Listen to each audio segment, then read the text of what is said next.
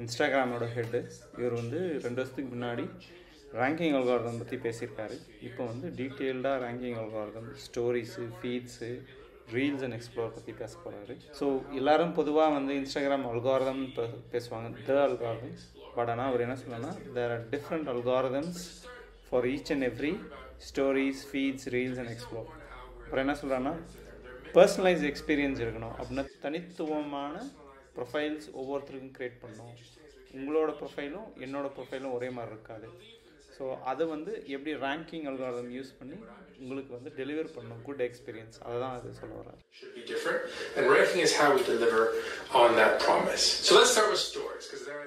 So இந்த பாட்டில் வந்து நம்ம ஸ்டோரி ரேங்கிங் பற்றி பார்க்க போகிறோம் ஸ்டோரிஸ் தான் வந்து நீங்கள் ஆப் ஓப்பன் பண்ணி ஃபஸ்ட்டு டிஸ்ப்ளே ஆகும். இந்த ஸ்டோரிஸ்லாம் எப்படின்னா கடந்த இருபத்தி நாலு மணி நேரத்தில் உங்கள் ஃபாலோவர்ஸ்லேருந்து வர ஸ்டோரிஸை வந்து உங்களுக்கு ரேங்க் பண்ணி கொடுக்குறாங்க. பட் நீங்கள் எவ்வளோ ஆர்வம் காட்டுறீங்கிறது கரெக்டாக கணிக்க முடியாது. அதனால் அந்த கணிப்புக்காக என்ன பண்ணுறாங்கன்னா அவங்க வேறு மெத்தட் யூஸ் பண்ணுறாங்க அந்த மெத்தட் எப்படின்னா நீங்கள் ஏற்கனவே அந்த ஸ்டோரியை வந்து ஓப்பன் பண்ணுறீங்களா இல்லை ஸ்டோரிக்கு ரிப்ளை பண்ணுறீங்களா இல்லை அந்த ஸ்டோரிக்கு வந்து எமோஜிஸ் வந்து எதாவது ரியாக்ட் பண்ணுறீங்களா அதை பேஸ் பண்ணி ஏற்கனவே இருக்க ஹிஸ்ட்ரி டேட்டா யூஸ் பண்ணி தான் அவங்க வந்து அதை ப்ரெடிக்ட் பண்ணுறாங்க இதில் வந்து சிக்னல்ஸ் பற்றி சிக்னல்ஸ் வேறு ஒன்றும் இல்லை. உங்களோட ஹிஸ்ட்ரி டேட்டா யூஸ் பண்ணி தான் நீங்கள் வந்து ஒரு ஸ்டோரி மேலே எவ்வளோ ஆர்வமாக இருக்கீங்கிறது கண்டுபிடிக்கிறாங்க. அது எப்படி கண்டுபிடிக்கிறாங்க அப்படின்னா நீங்கள் எந்த அளவுக்கு வந்து எமோஜி இன்ட்ராக்ஷன் பண்ணியிருக்கீங்க ரிப்ளை பண்ணியிருக்கீங்களா இல்லை வந்து ஷேர் பண்ணியிருக்கீங்களா அந்த ஸ்டோரியை அதை வச்சு தான் கண்டுபிடிக்கிறாங்க. இதில் வந்து எவ்வளோ நெருக்கமாக உங்களோட ஃபாலோவர்ஸை வந்து உங்களை உங்களோட கனெக்ட் பண்ணுறதுக்காக அவங்க என்ன பண்ணுறாங்க அப்படின்னா நீங்கள் வந்து ஒரு ஸ்டோரி மேலே எத்தனை தடவை ரிப்ளை பண்ணியிருக்கீங்க? எப்படி வந்து ஷேர் பண்ணியிருக்கீங்க? இல்லை வந்து எமோஜிஸ் யூஸ் பண்ணியிருக்கீங்களா? இன்ட்ராக்ட் பண்ணியிருக்கீங்களா அந்த ஸ்டோரி மேலேன்னு கண்டுபிடிச்சி இன்ஸ்டாகிராம் வந்து இவ்வளோ டேட்டாஸை யூஸ் பண்ணி உங்களுக்கான ஸ்டோரிஸை வந்து உங்களோட ஃப்ரண்ட் பேஜில் டிஸ்ப்ளே பண்ணுது. So feed ranking algorithm feed எதுக்குன்னா கடைசியாக இன்ஸ்டாகிராமில் வந்து என்னென்னலாம் நடந்திருக்குது நீங்கள் கடைசியாக லாக் அவுட் பண்ணதுலேருந்து இப்போ திருப்பி லாகின் பண்ண வரைக்கும் நடந்திருக்கு. ஸோ அது வந்து ஃபாலோவர்ஸ் அக்கௌண்ட்லேருந்து ஃபோட்டோஸ் வீடியோஸு அது இல்லாமல் நான் ஃபாலோவர்ஸ் அக்கௌண்ட்லேருந்தும் வரும்.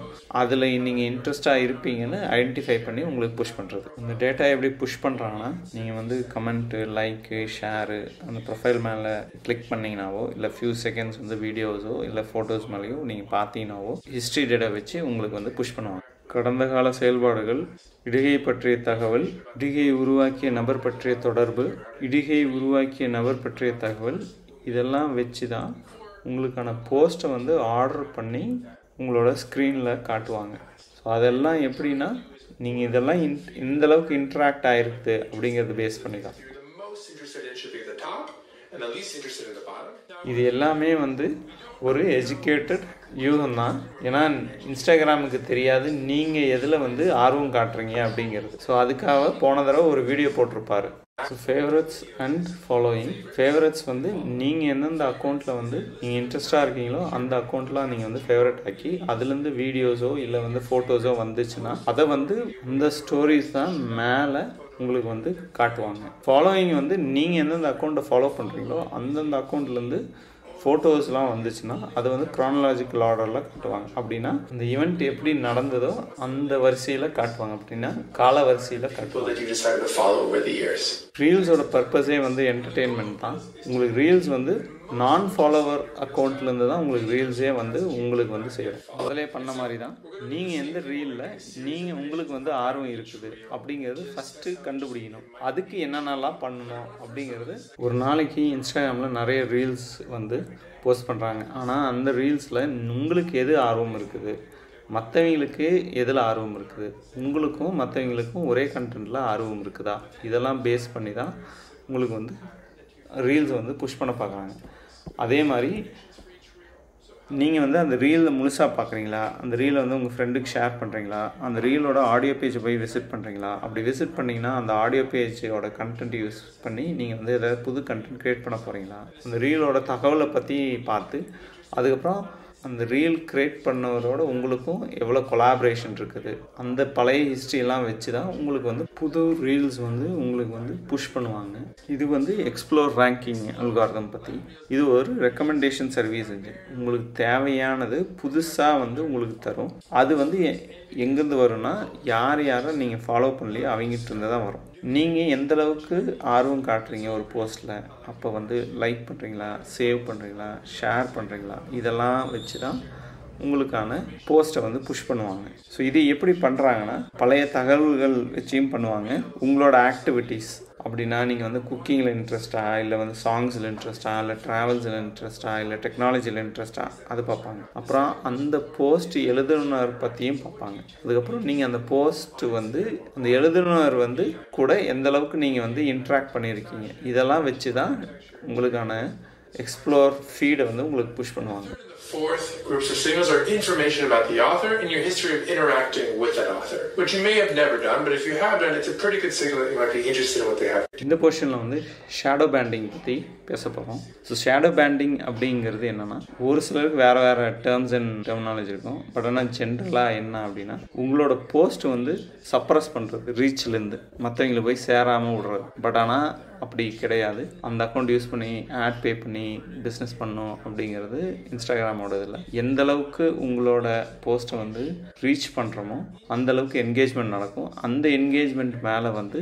நாங்கள் வந்து ஆட் வேற எங்கேயாவது பண்ணிக்குவோம் அப்படிங்கிறார். ஆனால் சில அக்கௌண்ட்ஸ் மேலே இல்லை சில போஸ்ட் மேலே வந்து கண்டிப்பாக வந்து சப்ரஸ் பண்ணுவாங்க. அது வந்து எப்போனா அந்த கண்டென்ட் வந்து அவங்களோட கைட்லைன்ஸ் வயலேட் ஆயிருந்ததோ இல்லை வந்து சில போர்ஷன் ஆஃப் த வீடியோ வந்து கட் பண்ணி எடுத்துருவாங்க. பண்ணுவாங்க அது வந்து கைட்லைன்ஸ் மீட் ஆகலினாவும் அது பண்ணுவாங்க. ஸோ இந்த டீட்டெயில்ஸ் எல்லாமே உங்களோட அக்கௌண்ட்டோட ப்ரொஃபைல் இன்ஃபர்மேஷனில் இருக்கும். எதனால் வந்து அந்த வீடியோ வந்து சப்ரஸ் பண்ணாங்களோ இல்லை பிளாக் பண்ணாங்களோ அப்படிங்கிறது அங்கே டீட்டெயிலாக கொடுத்துருக்கு இன்ஸ்டாகிராம் வந்து பிஸ்னஸ்க்காக யூஸ் பண்ணுறீங்க இது முக்கியமாக கவனிக்கணும். அக்கௌண்ட் ஸ்டேட்டஸ்னு ஒன்று க்ரியேட் பண்ணுவீங்க அது எங்கே பார்க்குறதுனா ப்ரொஃபைல் செட்டிங்ஸு அக்கௌண்ட் ஸ்டேட்டஸ் அங்கே வந்து என்னென்ன இன்ஃபர்மேஷன் இருக்குன்னா ஃபோட்டோஸ் வீடியோஸ் வந்து ரிமூவ் ஆயிருக்கா நீங்கள் போஸ்ட் பண்ணது. அப்புறம் அக்கௌண்ட் ரெக்கமெண்டேஷன் ஸ்டேட்டஸ் பார்க்கலாம். நீங்கள் வந்து யார் யார் ஃபாலோ பண்ணலையோ அவங்களுக்குலாம் வந்து ரெக்கமெண்ட் ஆகுதா? உங்களோட வீடியோஸ் போஸ்ட்லாம் வந்து ஆகுதா? ரீல்ஸ் மூலமாக இல்லை எக்ஸ்ப்ளோர் மூலமாக ஆகுதா? ஸோ நீங்கள் வந்து ஃபோட்டோ ரிமூவ் ஆயிருந்தாவோ வீடியோ ரிமூவ் ஆயிருந்தாவோ உங்களுக்கு வந்து ரெக்கமெண்டேஷன் எதுவும் நடக்கலைனாவோ நீங்கள் வந்து அப்பீல் பண்ணலாம்.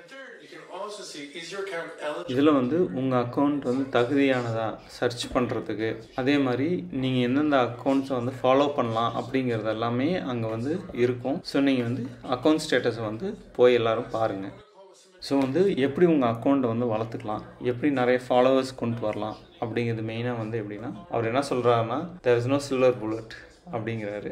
ஸோ நீங்கள் வந்து எக்ஸ்பெரிமெண்ட் பண்ணி தான் பார்க்கணும். சில ஆடியன்ஸுக்கு வந்து ஒரு சில கண்டென்ட்ஸ் பிடிக்கும். சில ஆடியன்ஸுக்கு வந்து வேறு கண்டென்ட் பிடிக்கும். ஸோ அதனால் நீங்கள் வந்து அதை எக்ஸ்பெரிமெண்ட் பண்ணி எந்த கண்டென்ட் வந்து உங்கள் ஆடியன்ஸுக்கு வந்து ரெசனேட் ஆகுது வைப்ரேட் ஆகுது அப்படிங்கிறத கண்டுபிடிச்சி அதுக்கு தகுந்தாப்புல நீங்கள் கண்டென்ட் போடணும். ஸோ குவாலிட்டியான கண்டென்ட்ஸ் போட போட ரீச்சும் அதிகமாகும் அப்படிங்கிறாரு. அதே மாதிரி இன்னொரு வழி என்னென்னா மற்ற கண்டென்ட் கிரியேட்டர்ஸ் கூட கொலாபரேட் பண்ணி ஒர்க் பண்ணி கண்டென்ட் கிரியேட் பண்ணுறது இன்னொன்று வந்து அக்கௌண்ட் ஸ்டேட்டஸை பார்த்து உங்களுக்கு அங்கே ஏதாவது வந்து வீடியோஸோ ஃபோட்டோஸோ ரீச்னால ஏதாவது இஷ்யூஸ் இருந்ததுன்னா அங்கே வந்து பார்த்து நீங்கள் அப்பீல் பண்ணலாம். எந்த அளவுக்கு நீங்கள் வந்து ஒரிஜினல் கண்டென்ட் க்ரியேட் பண்ணுறீங்களோ அந்த அளவுக்கு வந்து உங்களுக்கு வந்து ரீச் பெட்டராக இருக்கும்.